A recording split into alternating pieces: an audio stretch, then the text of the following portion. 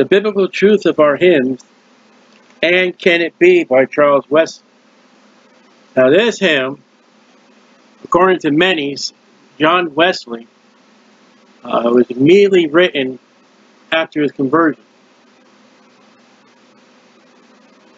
Uh, for the sake that thinking about God and I lost the reference I had up. Uh, when John Wesley was converted on May 21st, 1738, there's two possible hymns that have been written by him. They're not sure, but this could have been one of the first ones he written after he was saved. The first stanza is an amazement of the love expressed in God. That his son died for us. And the hymn, it, it, written by John, dying for him. Now take this hymn and apply it to John Wesley himself. And that's what many of these hymns are. They're, they were not made for public singing. They're just a poem written down to give expression to the love of God in their lives.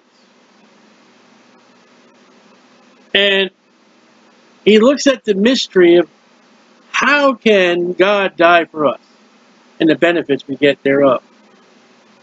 In the second stanza, Wesley calls for the incomprehensibility of God's love through mercy and through the sacrifice.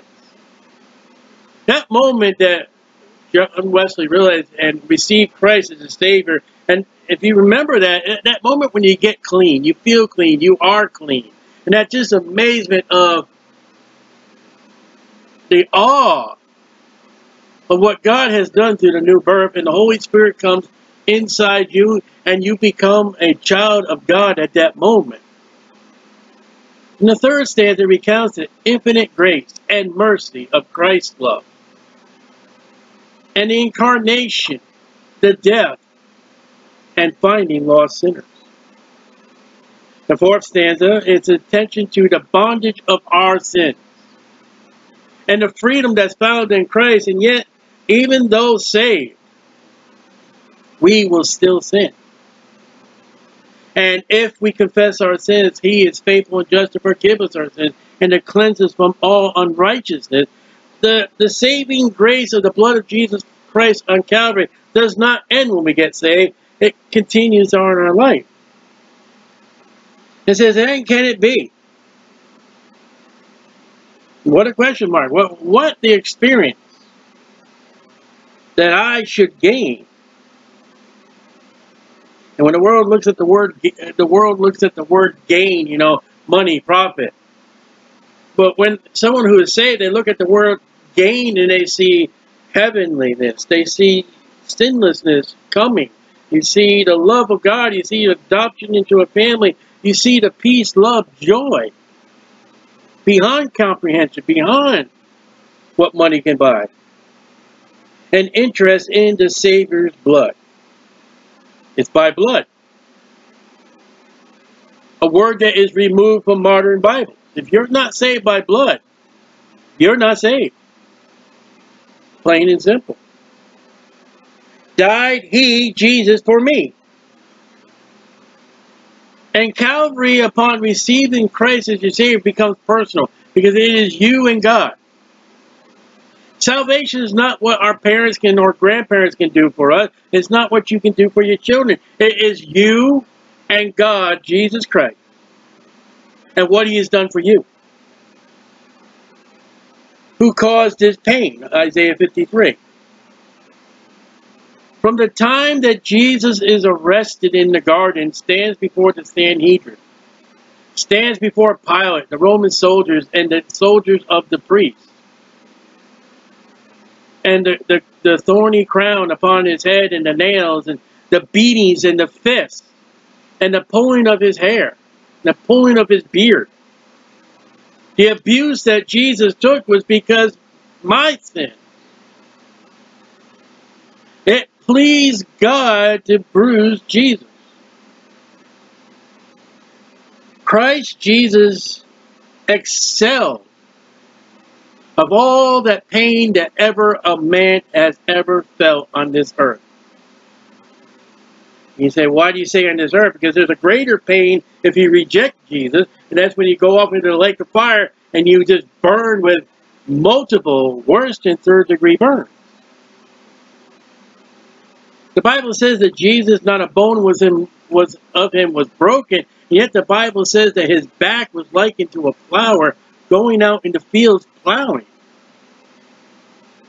Jesus Christ was a bloody pussy mess when he went to Calvary's cross. And we can't even fathom. When he carried that cross, I mean, he's just goo. He's been broken. He's been beating. He, he, he's agony to carry that cross because of me. For me, who him to death pursued. Christ went to the cross because I am a sinner. For God so loved the world that whosoever, and I was that whosoever that day. April 21st, 1987, in the afternoon of Saturday, as I knelt down with the Bible being read to me, as I was pronounced a sinner going to hell, Calvary became personal between me like it became personal for Charles Wesley. It was for me. Amazing love. The world throws love out there just like it, it, it's just a common word, like chocolate and candy. But when you look at the love of God, the Bible says we love Him because He first loved us. God loved us enough despite what I was, am, until I received Christ. God's long suffering, He's not willing that any should perish, and they reject Him, and they they they, they go against Christ. They re, they uh, rank on Christ. They scold Christ. They they're angry with Christ. And yet the love is still there until they die. For God so loved the world that he gave his only begotten Son. That love is a charity. It's giving, love in action. How can it be that thou, my God, and that can only be said after salvation. You don't have Christ as your Savior, He's not your God. You can do whatever you want to do. But without the gospel, without your putting your faith and trust in the Lamb of God, would take away the sin of the world, He's not your God. Jesus said in, in a case like that, you're you are of your father the devil. That's your God, small g. Shouldest die for me. That thou, my God, shouldst die for me. This hymn would not be sung in a Jehovah Witness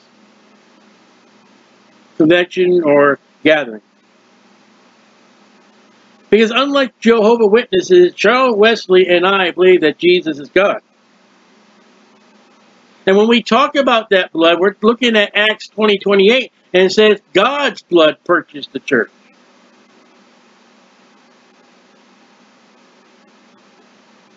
You've got to have God who suffered and died on that cross. You've got to have God's blood. Amazing love, how can it be that thou, my God, should die for me? God died for me. God, Jesus Christ. There was absolutely nothing more than God can do but laying down his life. And men and women today, as I preach on the street, uh, you have the nerve to say that whatever you think is much better. You're going to look at Jesus Christ one day, at the great white throne judge, and you're going to tell Jesus that what I've done is much better than what you've done. And you may disagree with me today, but in the eternal, you think that what you can do is better than what God done by not re receiving Christ. He left his father's throne above. Talk about a comfort zone. Talking about a place where it's absolutely sinless perfection. There are the cherubim. There are the angels. Holy angels, unholy angels. There is God the Father. There's a peace, there's rejoicing. And Christ was born in a in an animal's crib. in the middle of the night of Bethlehem during taxation, and no one even really cared but the immediate family. And one man was looking for the Savior, the Messiah, when Jesus Christ was circumcised and named on the eighth day. One woman who was faithful to God in prayers got to hold the baby Jesus. And when the wise men come to Herod say, oh, these men here say they're looking for the king of the Jews, they followed his star, and they haphazardly went to the Old Testament and found a prophecy and just read it to them. And they, of the priests and the scribes, did not follow those wise men to go find Jesus. Only the wise men went on their own.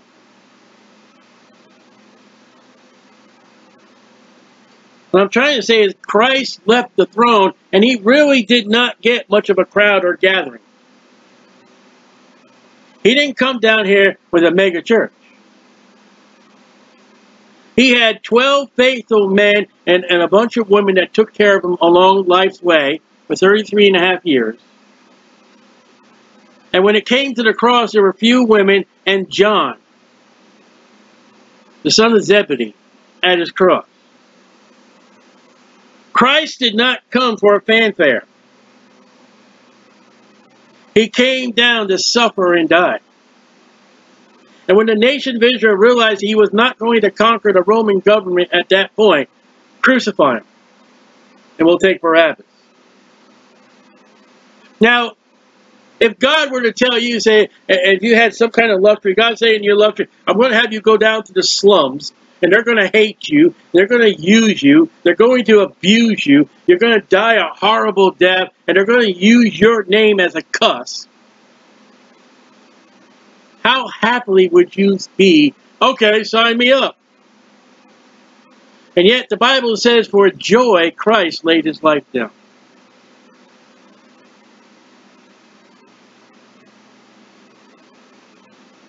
so free. God so free. So infinite his grace. There's a man I'm praying for right now. Uh, someone's working with, and he's just too wicked, too vile that God would not save his soul. There is nothing that you have, will, or able to do that God said, nope, got to reject you. There's only two sets of beings that God has totally rejected and that's Satan and his angels. And if you're a man that's born of a woman, you are able to be saved until you die and enter into the eternal life. There is no little sin of stealing a cookie to, you know, committing every sin. You can commit every sin in the world. And bow the knee at Calvary and say, Christ, I want to receive you as my Savior and the angels will rejoice over one sinner that repented.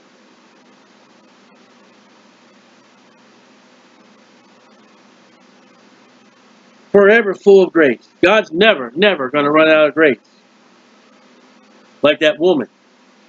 She ran out of oil once she got the last pail, bucket, or pot. But God's grace just keeps on going. It's a miracle. Emptied himself of all but love. Christ, God, died. No heartbeat, no breathing. The blood flowed out of his body from that spear. He was lifeless and dead. And laying on that, I don't know what he laid on in that tomb, but whatever that, that what he laid on. And his soul is in hell his soul is walking across that abyss. That soul has come to Abraham's bosom. He has met the dying thief. He's met the Old Testament saint. He's still for the love. The love never stopped the death because in three days and three nights he would be risen from the dead. And he showed up to his apostles and here I am and he upbraided them because their unbelief and taught them and helped them and sent them on their way. Why? What did he send them to do? to go in all the world and preach the gospel of my loving care. And bled for Adam's helpless race. If you do not have a bloody religion, you do not have salvation. And you don't drink the blood, you are a cannibal. You receive the blood by faith. You believe in the Lamb of God to take away the sin of the world. You don't have pictures of it, you take it by faith. His mercy all immense and free. It don't cost nothing. If you go to a church, religious center, whatever you go to, and they want you to buy your entrance into heaven, you got to buy a candle. You got to pay for this program. It's not going to get you to heaven. Because all the price and all the amount was fixed upon Jesus Christ on that cross. And God reached out for the payment of man, free to man, laid upon all of my sons.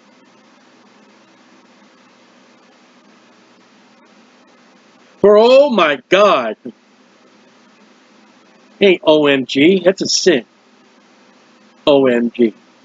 That's expression to be used, I'm in trouble, or praise the Lord beyond words. Oh my God. It found out me. There's none that seeketh after God, the Bible said. God came to me, the Holy Spirit drew me in. Not what I've done. And like I said, that point on April 21st, God, the Holy Spirit said, okay, now is his day. He's going to finally listen.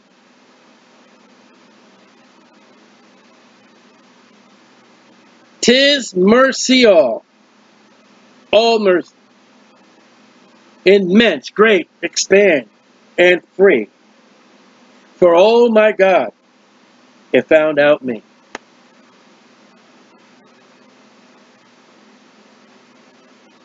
18 years I lived as unsaved man.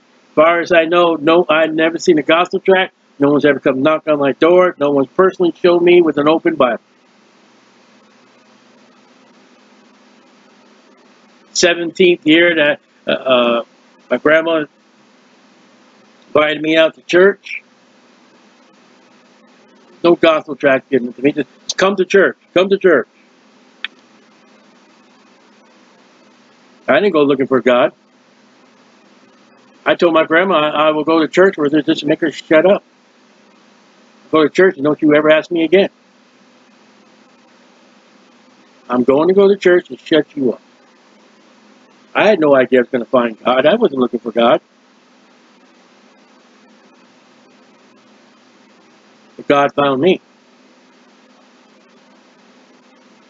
Long my imprisoned spirit lay. 18 years. Many of those years, there are events in those in my life of 18 years, Lord, I have looked back and I have seen notes and I have heard the story. There should have been death. All kinds of death. Many of them were snowstorms, blizzards. I should have been dead. Had I died in those circumstances, I would have been in hell. Well, a couple of them, I, I, I didn't know what sin was, so I wouldn't have been charged. But there have been a few times, had I died, I'd be in hell. I'd be in bondage to hell. And you only would come out when you come out to be judged of the great white throne judgment. And from that time, you'll be thrown off in the lake of fire. And you're not coming out. There's no doors. There's no locks. There's no need for handcuffs or uh, leg irons. You just don't come out. You are forever bound. It'd be like a man's cast into one of them castle dungeons. And they shut the door and they just totally forget about him. Now that guy will die eventually, but when we talk about the eternal life and the flames of hell and the flames of the lake of fire, there is no death. Bible says torments.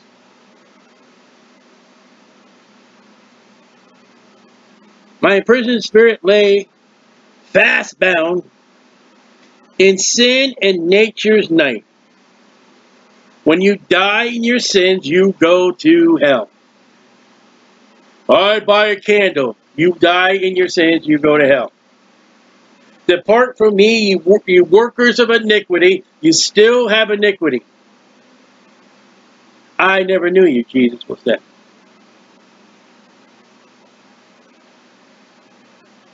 When you die as an unforgiven, unwashed by the blood of Jesus Christ, you are forever entombed in a prison called hell and the lake of fire. Because you have not put your sins on the Lamb of God, which take away the sin of the world. Nature's night. oh, I worship God with nature. I got Mother Earth and Mother Nature you know, I just let the spirits of the, the Aquarius, I let the age, I just go with the flow, and they'll end you up into darkness forever. John chapter 3 says, You're not condemned, going to be condemned, you're condemned already. When you are born of a woman, that woman has buried you into this world. She has populated heaven or hell. And the only way you get to heaven is by the Lord Jesus Christ. And the nature of man, before God told Noah to, to build that ark, the nature of man is violence, wickedness, and sin. And the nature of man after the ark rested and Noah came out with his family and those animals, still, the man's heart is wicked. Jeremiah says, above all things, who can know it?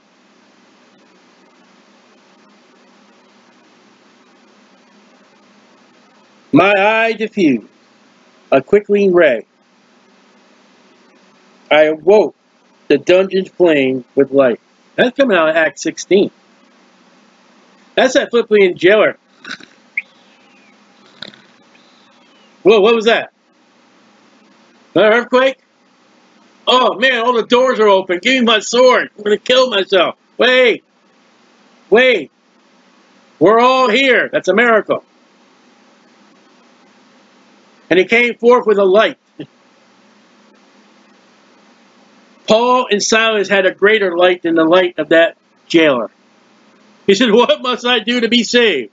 He's been listening to them, probably put to sleep by him singing about Jesus. Not contemporary singing, singing about the Lord Jesus Christ in the Bible and, and maybe part of the Psalms. And he comes forward, What must I do to be saved?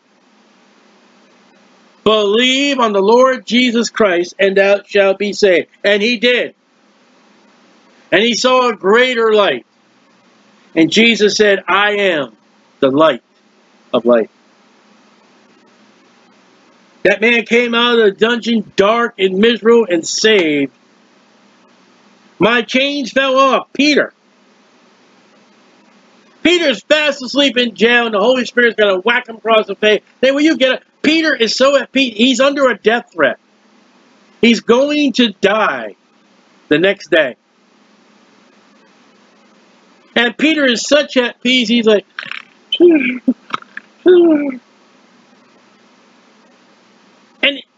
the chains fall off Peter. The, the, the angel of the Lord is walking him.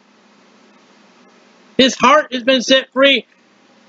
Charles Wesley's heart been set free by Jesus. My heart's been set free by Jesus. The chains fell off. I'm still a sinner, but I'm no more bondage to those sins. And if there are sins at the judgment seat of Christ, they will burn up to ashes. They, me will not burn. And through the walk of, of, of Christ as a saved man, as a child of God, there have been many instances in my life that God has freed me from. And my heart has been made clean. I rose, went forth, and followed thee. John Wesley, no, Charles Wesley, excuse me. Charles Wesley went forth and followed the Lord. There are many who receive Christ as their Savior and they sit down and they don't follow the Lord. That's a shame. Saturday afternoon, I received Jesus Christ as my Savior. Sunday morning, I raised my hand in church service and started what? I stood up and said, I received Christ as my Savior. I am washed in the blood. I went that afternoon, I went to my dad's house, went to my dad and said, Dad, you're going to hell. I got up and I walked and I talked and I did what the Bible, and I didn't even know what the Bible told me to do yet. Saturday night, the, the, the pastor came up to me and said, you know, you got to be baptized.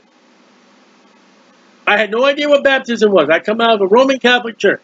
I thought that was taken care of years and years ago. And he sat me down. He, he, explained to me what the baptism was. He told me it's not salvation. It's a public testimony. I said, I need to be baptized? He goes, yeah, let's be baptized. Wednesday night, I went to church. He said, you know, I forget what night it was, but we go out door knocking. We go out door knocking. What's that? We go out and knock on doors and tell people about Jesus. Let's go. Guy got me to what the real belief of, of gospel tracts are. I give them out to people? Yeah. All right, let's go. And I had a period of time where I backslid and, and I did wicked and I, uh, I just had no heart for God, but I still witnessed. I still walked. and the Lord was gracious and full of mercy and full of grace. He said, I'll take you back. You fool. Put all that extra baggage on you. A chain fell off, my heart was free. I rose up, went forth, and followed thee. Are you following Christ? Are you obeying? Are you reading and studying the Bible? Are you praying? Are you going out trying to tell people about Jesus? Are you trying to grow people in Christ? No condemnation. Now I dread. I'm not going to burn a place called purgatory. I'm not going to go to hell for a little while for my sins. That's done. It, been paid by Jesus. It has been washed in the blood. And if I do have sins, and I will, at the time that I die or at the time of the rapture of the church, those sins that are not under the blood, that I have not confessed, they will be put as wood, hay, and stubble. They will be churned to ashes with no reward. But don't let anybody, after you're saved, say, well, if you sin, you know, you're going to lose it. No, you won't. It's not yours to lose. Jesus. That's a name not mentioned much in script, in the hymns. And all in him. All in him. Be interesting. It's too late now. All right, we got 58 hymns that we've done so far. And this is number 247 in this hymnal. Should have gone through and counted how many times so far and every time Jesus shows up. That would be an interesting little study. Too late. Maybe you should do that. Maybe grab a hymnal and go through each every song or the populars or whatever and find out how many times Jesus shows up in the hymns. I lost where I was. Jesus and all in him is mine. Jesus is sitting in heaven, right? That's mine. Jesus is the Father. That's mine. That's my dad. That's my father. Jesus has New Jerusalem and making mansions, correct? That's mine. All to be mine one day. Alive in Him. I'm not going to die. If I go before the rapture, the Bible says, absent from the body and present with the Lord. If I were to be in a hospital bed and my family's around me, I don't know.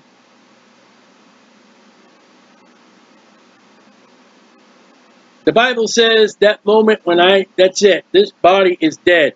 I am with the Lord Jesus Christ as quick as lightning, as quick as a flash, as quick as a twinkle of an eye. Uh, I'm with Jesus. I'm in a better place. When my wife died, I, I envied. I know you're not supposed to envy. She's in a better place. I'm still here. Alive. You know, when you die, you don't die. Even if you go to hell. The Bible says that rich man died, okay, and he woke up with his eyes in hell. There's a transformation from this life into the eternal life, heaven or hell. And once you die to this world, you live forever in heaven by Jesus or in hell by anything.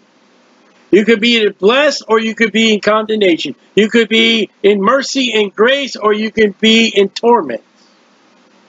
And that will go on forever.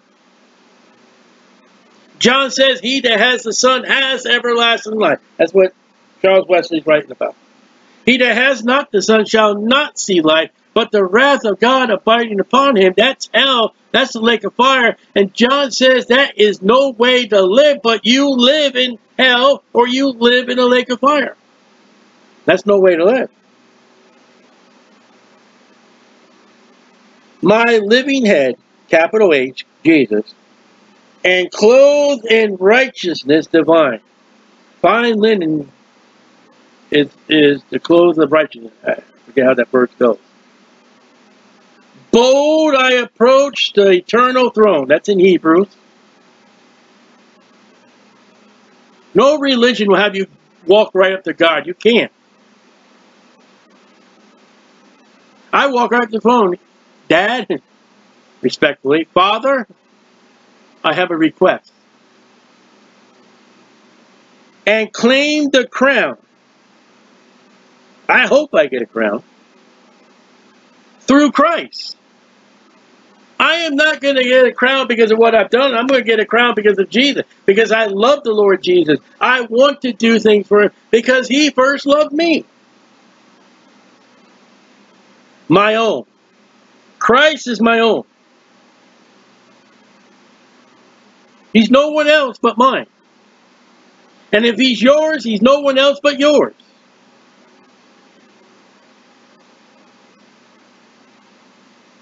Your life in Christ is much different from my life in Christ. But he's our own. We can claim it. We can walk up to the throne. I didn't say name it and claim it, but we can claim. We can walk up to the Father and say, Father, I have petitioned, and the Father will say, yes, no, maybe.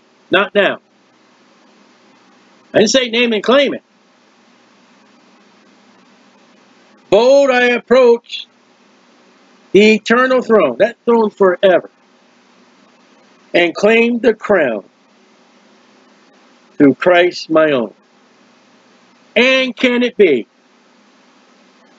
What wonderful, glorious, more, if you do right, after Calvary, after the empty tomb, after the, stone being rolled away, after he is risen, and your faith and your belief in that, oh, and can it be? I'm going to get a brand new body. And can it be that God's going to walk with me in my life? And can it be I can tell others? And can it be that I got a problem? I, I go to the throne and say, Lord God the Father, help. And can it be uh, troubles, troubles, problems, and all that? And Christ comes up to me and says, uh, I understand. And can it be I get the Holy Spirit that dwells in me forever? And can it be I'm going to get New Jerusalem, a mansion? And can it be forever and ever and ever and ever and ever with no time, no more pain? And, and can it be I will be sinless one day? And we can't even fathom the all and it can be. And there are things in our life that, and can it be, we don't even know what God has done to protect us and bless us. And can it be would be matched with the hymn, count your many blessings, name them one by one. And when you count and look at your blessings, and you look at those things that God has done and God is doing and God will do, and you say, and can it be? And can it be that my mom was saved? Is saved? And can it be my grandparents are saved?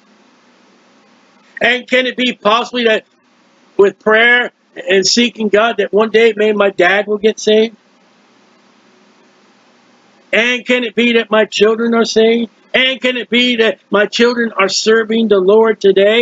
And can it be my name is written in the Lamb's Book of Life? And can it be I may get a crown? And can it be I may get an inheritance? And can it be that I suffer for Christ in public? And can it be that I have the greatest, most wonderful message for all the world to hear the gospel? And can it be that God says, hey, sit down and talk about these hymns and other people will hear them.